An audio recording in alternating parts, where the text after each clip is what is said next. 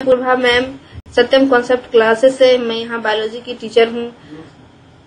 मैं यहाँ बायोलॉजी की टीचर हूँ, मैं यहाँ बायोलॉजी का क्लास लेती हूँ। टेंथ का एग्ज़ाम खत्म हो गया है तो अब हम लोग इलेवेंथ की तरफ़ बढ़ते हैं। आज हम लोग इलेवेंथ के बायोलॉजी के सिलेबस का डीप एनालिसिस करेंगे। तो हम लोग से जुड़ने के लिए यूट्यूब पे यूट्यूब में हम लोगों का चैनल है एस स्टडी उसको सब्सक्राइब करें। और ऑफलाइन पढ़ने के लिए पूर्णिया में गिरजा चौक एक जगह है। गिरजा चौक में हम लोगों का सत्यम कॉन्सेप्ट क्लासेस के नाम से कोचिंग संस्थान है। तो वहाँ से आप हम लोग के साथ जुड़ करके पढ़ाई कर सकते हैं। तो हम लोग अब स्टार्ट करते हैं इलेवेंथ सिलेबस को एनालाइज करना। इलेवेंथ का हम लोगों के सिलेबस में, हम लोगों की ज़िंदगी में क्या इम्पोर्टेंस है उसको देखते हैं। तो ये जो इलेवेंथ का सिलेबस है बहुत बच्चे क्या करते हैं कि इलेवेंथ को स्किप कर जाते हैं और डायरेक्ट ट्वेल्थ को पढ़ने लगते हैं। तो बहुत सारे एग्ज़ाम जो है पैरामेडिकल है नीट है इसके साथ साथ जो अदर कम्पिटेटिव एग्ज़ाम है फॉर एग्ज़ाम्पल रेलवे है एसएससी है बैंकिंग है बीपीएससी है और यूपीएससी है इन सभी अदर कम्पिटेटिव एग्ज़ाम में भी इलेवेंथ बायोलॉजी का बहुत इम्पोर्टेंस रोल है। तो इसको देखते हुए हम लोग आज आ, इसके साथ साथ हम लोग के जो लाइफ है उसमें भी बायोलॉजी का बहुत इम्पोर्टेंस रोल है, खास करके एलेवेंथ में जो ह्यूमन फिजियोलॉजी है ह्यूमन फिजियोलॉजी कहने का मतलब है कि हम लोग के अंदर का जो शरीर क्रिया विज्ञान है, शरीर के अंदर जो एक्टिविटीज़ होती है, उन सभी चीज़ों को हम लोगों को इलेवेंथ में पढ़ना है। बस एक चैप्टर हम लोग को जो रिप्रोडक्शन है रिप्रोडक्शन को सिर्फ़ हम लोगों को पढ़ना है ट्वेल्थ में, बाकी हम लोगों को इलेवेंथ में पढ़ना है। तो आज हम लोग स्टार्ट करते हैं सिलेबस एनालाइज करना। तो हम लोग का जो सिलेबस है, उसमें टोटल हम लोग को इलेवेंथ में पाँच यूनिट पढ़ना है। पाँच यूनिट में पहला जो यूनिट है, वो है हम लोगों का जीव जगत। इस जीव जगत में हम लोगों को ट्वेल्थ मार्क के क्वेश्चन पूछे जाते हैं कॉलेज वाले एग्ज़ाम में। और जीव जगत के अंतर्गत हम लोगों को चार चैप्टर पढ़ना होता है। ये जो जीव जगत है, इसमें हम लोगों को किस चीज़ के बारे में पढ़ना है तो हम लोग अपने आसपास देखते हैं बहुत सारे जीव पाए जाते हैं तो सारे जो जीव हैं, उनके बारे में हम लोग एक एक करके नहीं पढ़ सकते तो उसको क्लासिफाई करके बांट बांट करके पढ़ाई करते हैं। तो इस पूरे जो यूनिट है, इस यूनिट में हम लोगों को जीवों के बारे में पढ़ना है। इसके साथ साथ इस इस यूनिट में चार चैप्टर हैं तो फ़र्स्ट जो चैप्टर है, वो फ़र्स्ट चैप्टर हम लोगों का जीव जगत, जीव के बारे में पढ़ना है। दूसरा जो चैप्टर है, वो हम लोगों का जीव जगत का वर्गीकरण। हम लोगों के जो चैप्टर में हम लोगों के जो आसपास जितने सारे जीव हैं, उनका वर्गीकरण पढ़ना है। जैसे हम लोग अपने घर में ही किताब कॉपी को अरेंज करके रखते हैं, किताब को एक तरफ़ कॉपी को एक तरफ़ या अदर किसी भी वस्तु को अरेंज करके रखते हैं। उसी तरह से क्या है कि बायोलॉजी में जीवों का वर्गीकरण किया गया है ताकि अगर किसी भी जीव का नाम लिया जाए तो उसका कैरेक्टर्स हम लोगों के माइंड में आ जाए। तो इस चीज़ के लिए जीवों का वर्गीकरण करना आवश्यक पड़ा। मतलब जीव को बांटना कर सकते हैं बांटना आवश्यक पड़ा। तो इस चैप्टर के अंतर्गत हम लोग जीवों के वर्गीकरण के बारे में पढ़ेंगे। इस तरह हम लोग का थर्ड जो चैप्टर है थर्ड अध्याय में हम लोगों को वनस्पति जगत के बारे में पढ़ना है। तो संसार में बहुत सारे विभिन्न प्रकार के वनस्पतियाँ हैं पेड़ पौधे हैं। तो इस पेड़ पौधे के बारे में हम लोग ऐसे तो जान नहीं सकते सबका नाम याद रखना पॉसिबल नहीं है। तो इस तरह से क्या है कि इस अध्याय में वनस्पति जगत में हम लोगों के वनस्पति के बारे में वर्गीकरण है और उनके कैरेक्टर्स के बारे में पढ़ना है।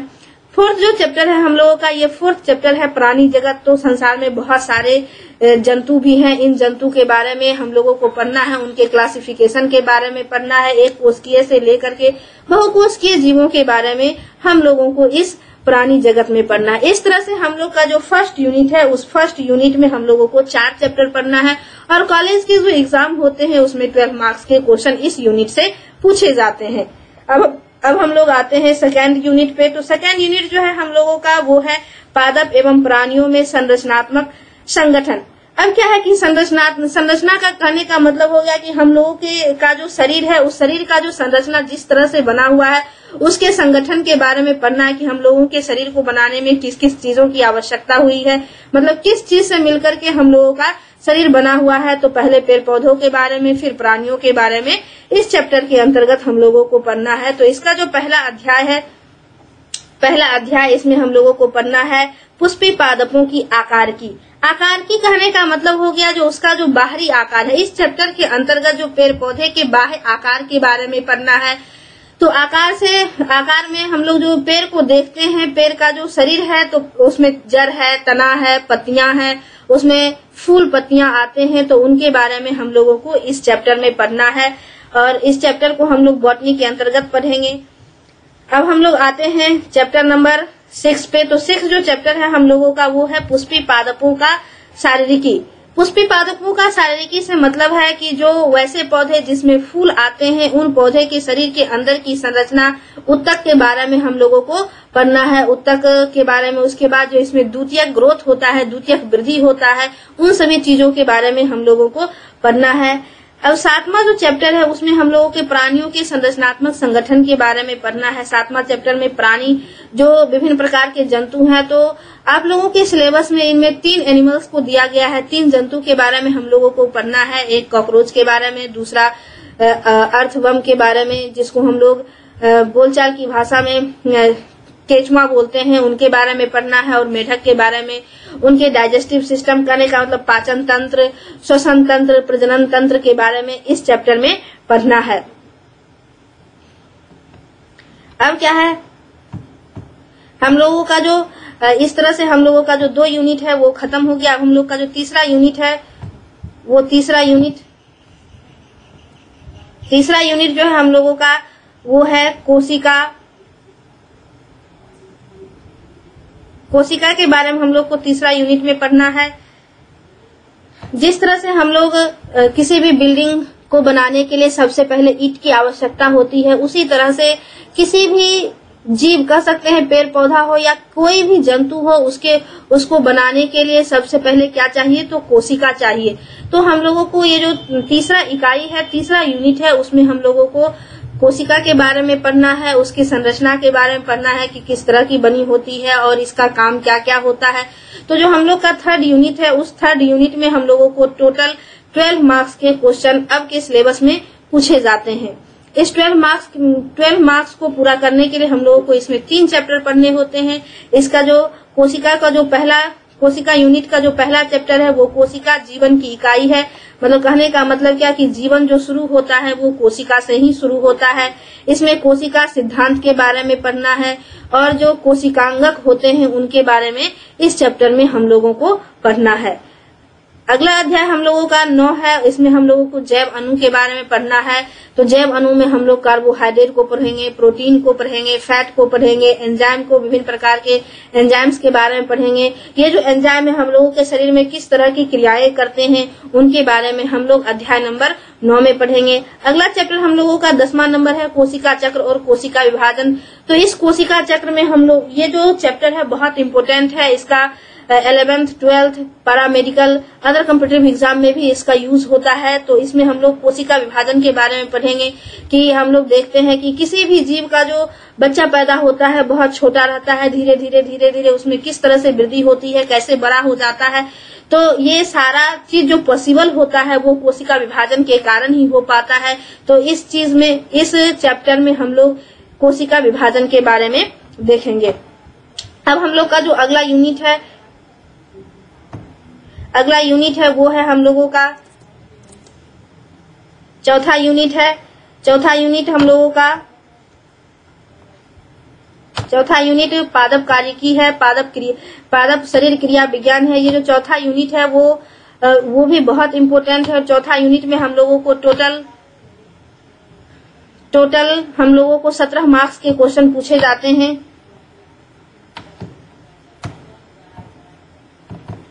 सत्रह मार्क्स के क्वेश्चन पूछे जाते हैं और इसमें हम लोगों को पूरे प्लांट के बारे में स्टडी करना है।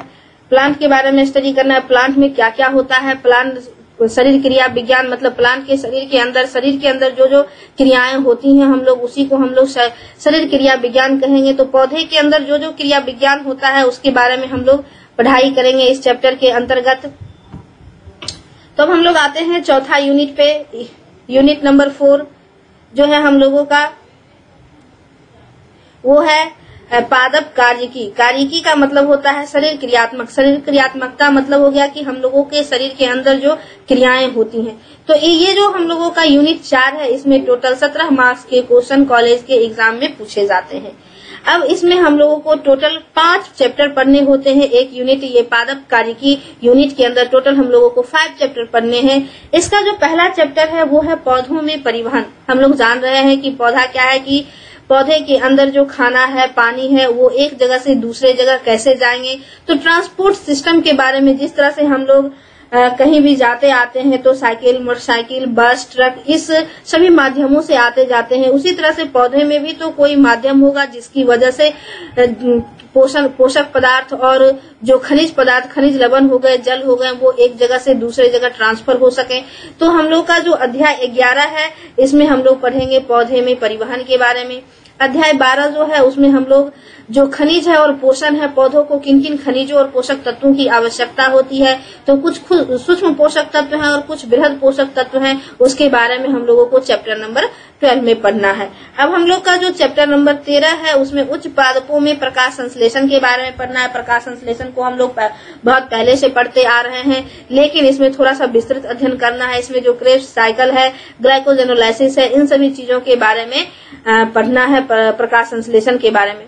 अध्याय चौदह जो है, उसमें हम लोगों को पादप में श्वसन, जिस तरह से जंतु श्वसन करता है, उसी तरह से पेड़ पौधे भी सांस लेते हैं। तो इस क्रिया का अध्ययन क्रिया विधि का अध्ययन हम लोग चैप्टर नंबर चौदह में करेंगे।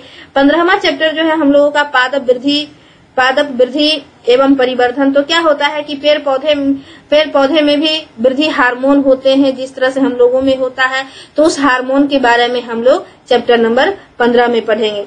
इस तरह से हम लोग का चौथा यूनिट खत्म हो गया। अब यूनिट नंबर फाइव स्टार्ट होता है। इसमें हम लोग मानव शरीर क्रिया विज्ञान के बारे में पढ़ेंगे। तो मानव शरीर क्रिया विज्ञान में हम लोगों को टोटल टोटल हम लोगों को पांचवा यूनिट में टोटल हम लोगों को पढ़ना है। सेवन चैप्टर और इस चैप्टर ये जो है हम लोग का बहुत इम्पोर्टेंट चैप्टर है। इसमें पूरे मानव के, शरीर के क्रियात्मक वर्ग, क्रिया क्रिया विधि का अध्ययन करना है और उसमें कॉलेज के एग्ज़ाम में 17 मार्क्स के 17 मार्क्स के क्वेश्चन पूछे जाते हैं।